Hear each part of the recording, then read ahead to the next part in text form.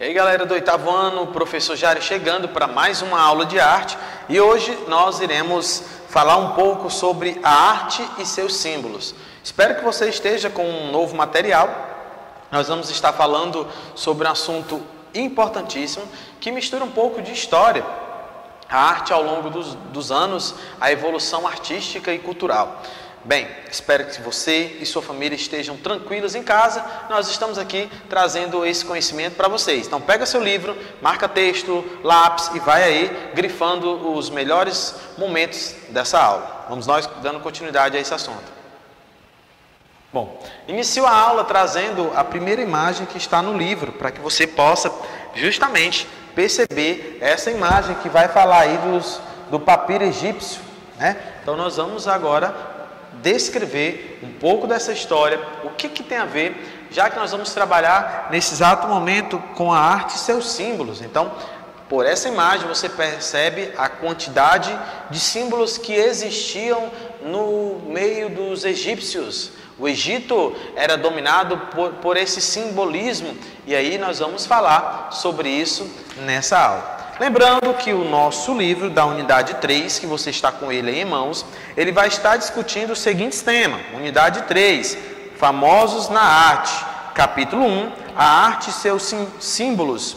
Capítulo 2, a calçada da fama. Capítulo 3, quem são os ídolos da música.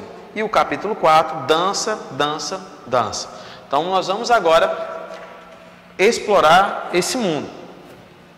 Vamos lá. O que, é que nós vamos ver nesse capítulo? Nesse capítulo, nós vamos estar trabalhando os símbolos de uma época, o, da, o dadaísmo e mitos nacionais. Então, vamos começar a falando sobre a arte e seus símbolos.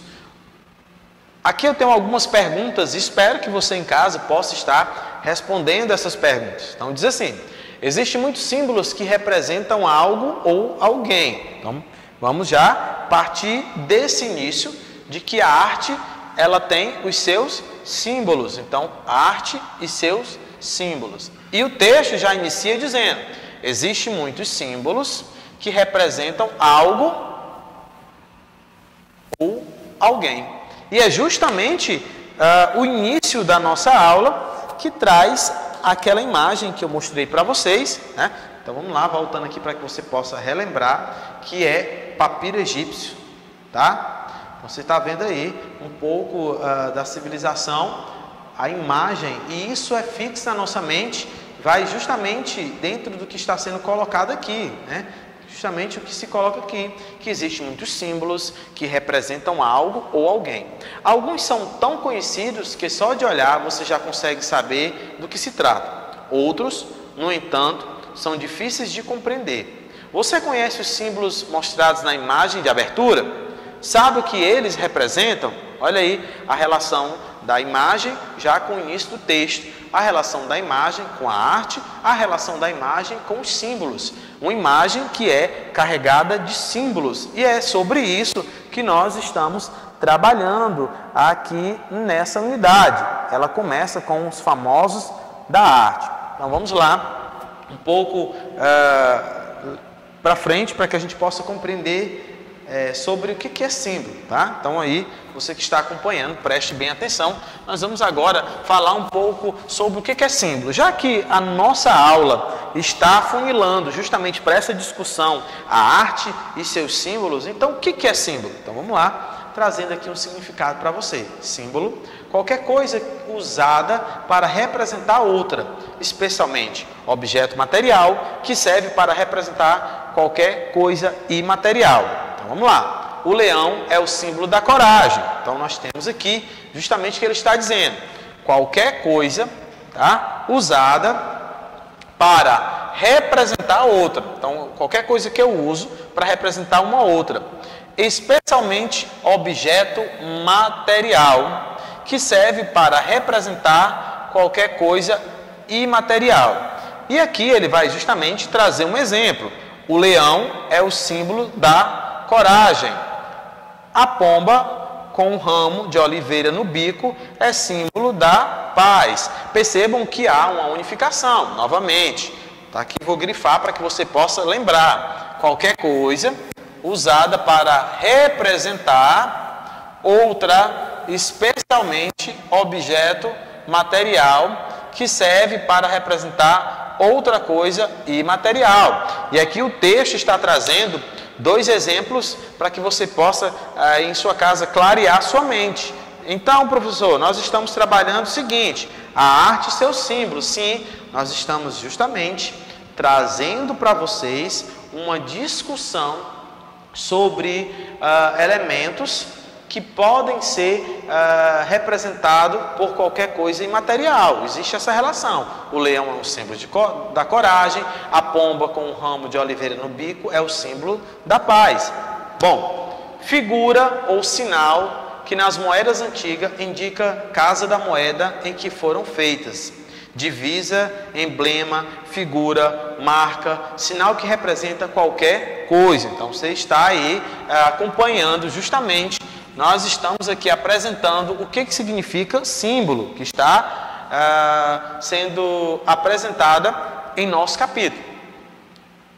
Então nós vimos aqui justamente que vai falar dessa divisa, emblema, figura, marca, sinal que representa qualquer coisa. Vamos à próxima imagem que representa e encerra a significação, tendências inconscientes. Letra ou letra ou letras usadas como abreviatura para designar corpos simples na forma, nas fórmulas. Uma outra definição Figura que consiste em substituir o nome de uma coisa pelo de um sinal que o uso, que o uso adotou para designar. Sinal sensível de um sacramento. Formulário que contém os principais artigos de fé ensinados antigamente aos catecúmenos. Ah, aqui vai falar também sobre essa relação dos, dos equipamentos que eram utilizados, eh, esses artigos de fé. Fórmula do credo, assim denominada por ser atribuída aos apóstolos, símbolo usado na construção de diagramas de fluxo para permitir que comentários sejam adicionados. Símbolos nacionais, como a bandeira, uh, o hino, o escudo das armas, o selo oficial de cada nação. Então, tudo isso que eu estou apresentando para vocês, de fato, vai ser símbolo. Ah, tudo isso é símbolo. Aqui vai falar apostólico ou dos apóstolos, que é o que? A fórmula do credo, assim denominado por ser atribuído aos apóstolos. Então, todos os dias nós vamos perceber que existem esses símbolos. E hoje a discussão no nosso livro de arte vai trazer isso, vai enfatizar sobre isso, tá? Então, nós vamos dar aqui sequência à nossa aula. Bom, um símbolo, portanto, pode apresentar muito significado. Na arte, isso não é diferente. O símbolo pode, pode ser a marca de um artista, a estilização de algumas figuras, um aviso ou um desenho conhecido praticamente no mundo todo. Então, o símbolo ele está espalhado, principalmente dentro da arte. É importante perceber quando ele coloca um símbolo, então, traz um destaque justamente o que nós estamos estudando aqui no nosso conteúdo. Portanto, pode apresentar muitos significados. E aí ele vai dar um destaque que na arte isso não é diferente, também na arte vai acontecer. Se lá na história das civilizações tem símbolo, como é a imagem, a primeira imagem que nós colocamos, esses símbolos vão estar presentes também na arte. O símbolo pode ser a marca de um artista, Tá? Você pode pensar em um artista, ele tem um símbolo, ele tem uma marca. A estilização de alguma figura, um aviso ou um desenho conhecido praticamente no mundo todo. Então, isso são símbolos, tá? Isso são representações. É importante conhecer porque elas estão inseridas dentro do contexto da arte. Elas estão aí para que você possamos é, conhecer, para que você possamos aprender um pouco mais sobre esse contexto. Vamos um pouquinho. Aqui tem uma tarefa que você vai estar é, resolvendo em casa, que aqui vai justamente fazer a menção aos símbolos, tá? Que é justamente o que nós estamos discutindo nessa aula. Então, cada símbolo desse traz um significado. A tarefa vai pedir para que você observe os símbolos, a seguir escreva é, o que elas significam, quais são os significados desses símbolos. Ó, cada um deles você vai trazer é, aí e vai colocar na atividade qual é o significado desses símbolos, tá? São vários para que você possa estar é, resolvendo. Então, vamos lá, dando continuidade à nossa aula. Símbolos e mitos de uma época. Na segunda metade do século XX, os artistas passaram a se questionar sobre o real objetivo da arte e quem podia consumi-la. Então ainda existia esse questionamento. Hoje nós conseguimos compreender e perceber que a arte, que a cultura, ela é livre, é uma forma de expressão. Então toda a sociedade, todas as pessoas, independente de classe, ela tem a liberdade de promover e participar desse processo que deve ser um processo igualitário, que deve ser um, um processo autônomo que se chama a arte. Os movimentos de vanguarda que ocorreram na primeira metade do século XX já haviam rompido com as ideias acadêmicas da arte. No período da industrialização, tudo passou a ser passível de venda e de consumo. Assim, a arte também passou a ser vista como um objeto de consumo. Olha que interessante. Assim, a arte também passou a ser vista como objeto de consumo, semelhantemente a qualquer outro produto. Nós estamos rompendo com a ideia de que a arte simplesmente é ligada a um artesanato. Nós estamos mostrando para os nossos alunos que arte é, é, um conceito mais amplo, que através da arte eu consigo discutir história, que através da arte eu consigo uh, discutir o processo de evolução do homem, que através da arte eu consigo falar sobre as culturas dos vários países e assim eu consigo apresentar algo novo, algo diferente às camadas da sociedade que não conhecem. Então vamos lá. Aqui está dizendo algo interessantíssimo. Assim, a arte também passou a ser vista como um objeto de consumo semelhante a qualquer outro produto. Voltamos para o início do texto que ele vai dizer: no período da industrialização, quando tudo estava é, no processo é, para ser industrializado, já estava aí, tudo passou a ser passível de venda e de consumo. Com a industrialização, tudo vai ser passível de quê? De venda e de consumo. E aí entra a arte com um objeto de consumo. Como assim, professor? Por que, que entra como objeto de consumo? Quando você participa de um processo, de um teatro ou de um cinema, ou você está inserido em uma dança, você está ali produzindo e alguém está consumindo. Então, vai justamente entrar nesse processo. Espero que vocês estejam entendendo. Nós estamos falando sobre a arte uh, e seus símbolos, nós estamos falando sobre símbolos e mitos de uma época. Então, dando sequência. A partir da década de 1950, lembrem dessa data, a partir da década de 1950, alguns artistas plásticos, músicos e escritores passaram a se interessar por temas relacionados à sociedade do consumo e à comunicação de massa. Então, dois pontos aqui de destaque. Nessa época, a televisão e os anúncios publicitários estavam em processo de desenvolvimento por meio deles era transmitida a ideia de uma vida de riqueza, estimulando desde o consumo de lanches até uma nova maneira de fazer arte. E aqui nós temos a chamada pop art, tá? que nós vamos falar um pouquinho sobre o que, que é essa pop art.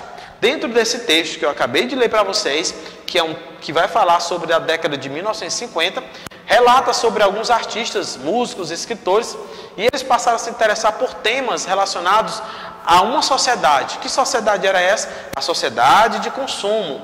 E também sobre uma comunicação, a comunicação de massa. Então, foi nessa época que a televisão, a televisão e os anúncios publicitários estavam em processo de desenvolvimento. Começava-se uma nova etapa. E aí surge essa ideia, né? fala-se sobre esse estímulo, né? estimulando desde o consumo do lanche até a nova maneira de fazer arte. Então surge aí a pop art. Então, o que, que é isso? O termo pop art em português significa arte popular, ou arte da rua, e trata-se de um movimento artístico que se desenvolveu nos Estados Unidos, destaque para os Estados Unidos, em que período? Na década de 1960. Nós estávamos em que ano que eu estava falando com vocês? 1950. Depois, 1960, começa-se esse processo, abordando temáticas relacionadas ao cotidiano das grandes cidades.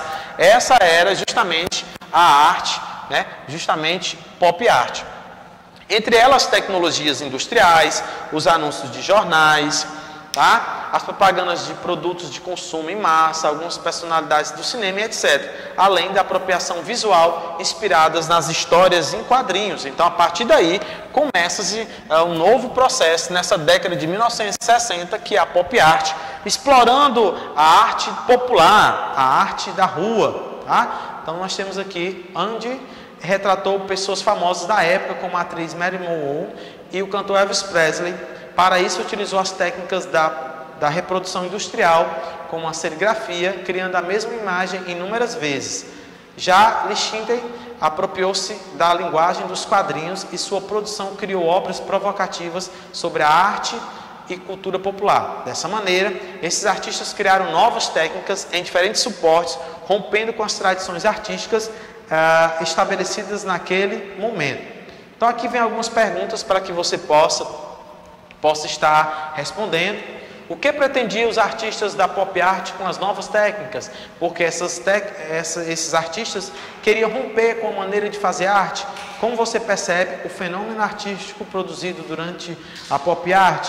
Tá? E ele, a gente encerra com isso aqui. Na atualidade, que imagens foram, é, foram e são criadas pela televisão ou outras mídias representando pessoas e comportamentos é, a serem admirados e seguidos, porque alguns artistas ou algumas pessoas são chamados de mitos. Em sua opinião, a arte pode ser considerada um produto como qualquer outro que consumimos no cotidiano? Então eu vou encerrar com uma imagem aí de grafite feito pelo artista brasileiro Eduardo Cobra, que eu já explorei em algumas aulas, inclusive sexto ano, né? falei também sobre esses grandes profissionais. O mais interessante dessa arte pop é que eles vão estar trazendo aí justamente esses nomes de ruas, né? os artistas que estão dia a dia na rua. Espero que você tenha compreendido sobre símbolo, uh, sobre arte, sobre cultura. Todas as culturas vão ter símbolo, assim como eu apresentei para vocês um pouco dessa cultura que está ligada à cultura egípcia. Fique em paz, nós estaremos de volta no nosso próximo encontro. Valeu!